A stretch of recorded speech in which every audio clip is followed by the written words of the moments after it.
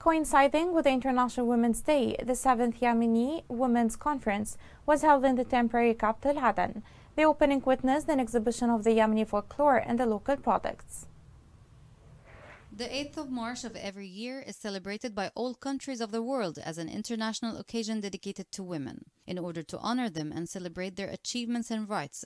However, the celebration of this occasion in Yemen has brought with it a setback, worries, and troubles under which Yemeni women, who were deprived during the raging war of the simplest standards and rights of a decent life to reach the seventh National Conference for Yemeni Women, which was held for the first time in Aden, coinciding with International Women's Day. This day has become sad and painful for Yemeni women, as the Houthi militia has made this day a setback and a flagrant violation of all rights, so that woman has become homeless, sick, lost, miserable, displaced, and imprisoned.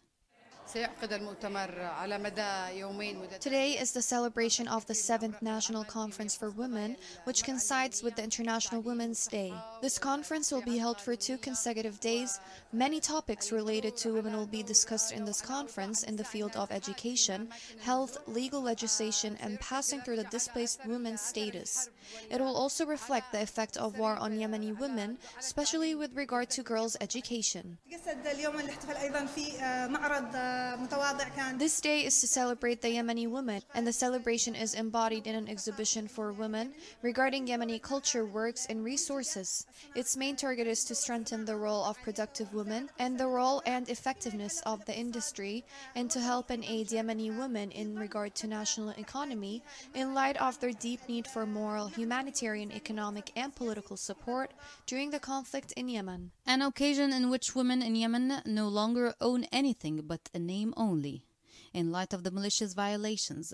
However, despite all the difficulties that Yemeni women are experiencing, many women have imposed their positive fingerprints and resisted living in order to survive, to become productive and active members in society.